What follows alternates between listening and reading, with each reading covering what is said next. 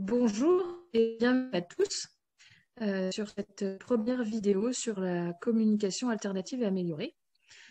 Alors après quelques échanges avec euh, des collègues, des familles, notamment sur les réseaux sociaux, on s'est rendu compte que on manque cruellement de vidéos euh, simples en français au sujet de la CA et c'est ce qui nous a décidé à, nous lancer dans ces vidéos. Et je remercie Sandrine pour l'aide technique. Alors, voilà, je me présente euh, rapidement. Je m'appelle Marie, je suis euh, orthophoniste euh, et formatrice sur les sujets autour de la CAA et j'habite en Bretagne. Alors aujourd'hui, nous allons tenter de répondre rapidement à, la question à qui s'adresse la CAA. En résumé, la CAA, c'est pour qui?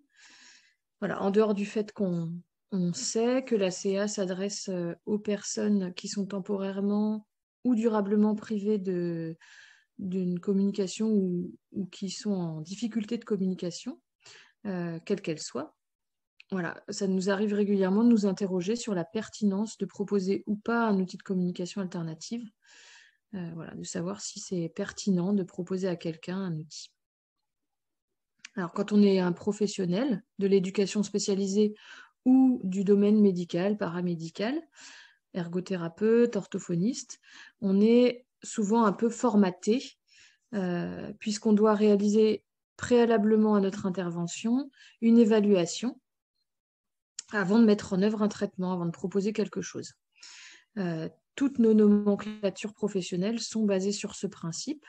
Euh, c'est un principe d'économie quelque part, puisque ça servira à rien ou ce serait contre-productif de mettre en œuvre quelque chose qui ne sera pas bénéfique par la suite. Euh, donc, euh, c'est notre principe de base. Mais dans le domaine de la communication, ça va nous poser un vrai problème. Voilà, dans le domaine de la CA, le problème, c'est qu'on ne peut pas évaluer la pertinence des propositions d'outils de CA si on ne les a pas essayées, si on ne les a pas mis en œuvre. Un enfant ou un adulte ne peut pas prouver ses compétences si on ne lui donne pas d'outils pour le faire. Si on procède ainsi, on va se donner des critères qui vont être un petit peu arbitraires, injustes, j'irais même euh, jusqu'à dire inhumains, on en reparlera tout à l'heure. Euh, ça peut être que c'est un petit peu trop tôt, un petit peu trop tard, que l'enfant n'a pas les compétences euh, cognitives, pas les compétences motrices, etc. Alors Buckelman et Miranda ont bien décrit ce modèle dans, dans cet ouvrage que je conseille à tous ceux qui s'intéressent à la CA. C'est une référence. Il a été traduit en français en 2017 et, il est vraiment très utile. Il fait un peu peur parce que c'est un gros livre, mais euh, c'est un, bon ouvrage. Euh, voilà, alors Buckelman et Miranda décrivent deux modèles. Le premier, qui est malheureusement trop souvent utilisé, c'est le modèle de candidature on va s'interroger sur la pertinence de mettre en œuvre un outil de CA. On va se demander si l'enfant ou l'adulte est un bon candidat. on va rencontrer très souvent cette démarche dans les structures qui accueillent des enfants polyhandicapés notamment, euh, où on va sans avoir rien essayé déclarer qu'un enfant n'est pas capable, que c'est trop compliqué pour lui, que, voilà, que c'est pas possible et que ça servira à rien de, leur proposer, ça rajoute du boulot et c'est pas pas pertinent et en plus euh, euh, ce serait trop lourd pour l'enfant de, le faire. Voilà. Je me souviens aussi d'une collègue ergo dans un autre domaine qui sollicitait mes conseils pour une de ses patientes qui était atteinte de la maladie de Charcot, c'est-à-dire la maladie de la, sclérose latérale amyotrophique, qui est une maladie évolutive euh, très grave qui évolue vers un décès malheureusement rapide. Et elle m'avait dit que, l'un de ses critères de choix d'une application de communication alternative pour ce monsieur serait son coût, qui devait être très limité, car malheureusement, pour elle, cela ne serait pas pertinent de dépenser trop pour une application qui serait utilisée par un patient dont l'espérance de vie était très réduite. Voilà, ça rejoint ce que je vous disais tout à l'heure sur les critères inhumains. Euh, si on prend un peu de recul là-dessus, euh, c'est ça peut sembler quand même vraiment scandaleux quoi, de, proposer ce genre de choses. Voilà.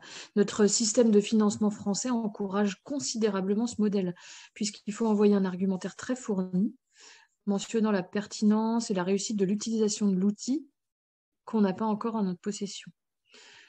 Donc on va se baser forcément sur un certain nombre de critères qu'on va déclarer prédictifs, alors qu'on n'a en réalité absolument pas la preuve que ce sont vraiment des critères prédictifs à, la bonne réussite de cet outil.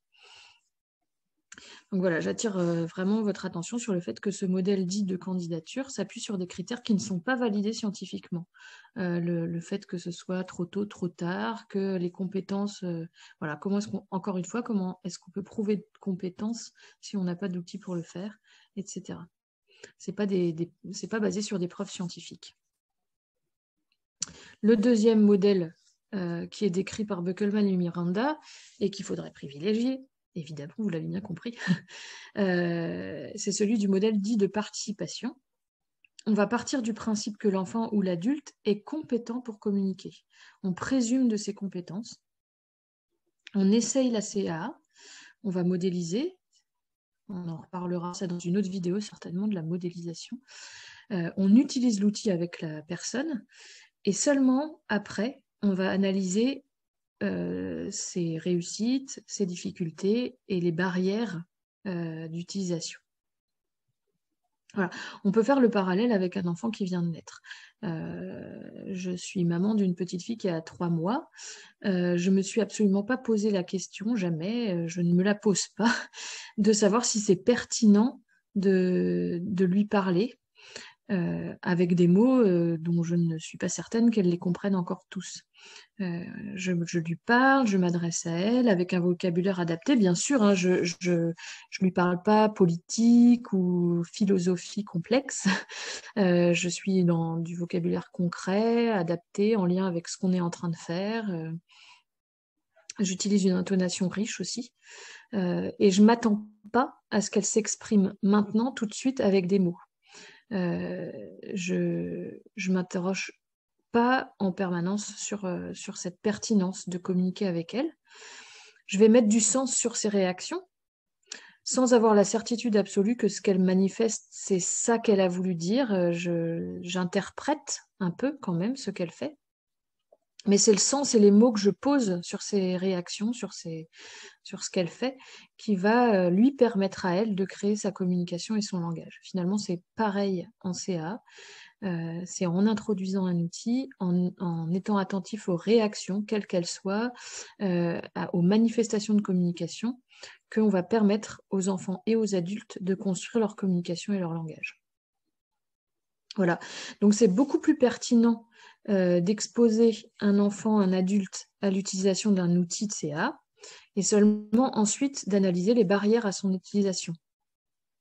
On va, examiner en premier lieu les barrières dites extrinsèques, c'est-à-dire celles qui ne viennent pas de l'utilisateur lui-même, euh, les difficultés que rencontre la famille à utiliser l'outil, par exemple, euh, les difficultés de l'équipe qui s'occupe de la personne dans la journée, euh, les professionnels qui l'entourent, le reste de la famille, etc.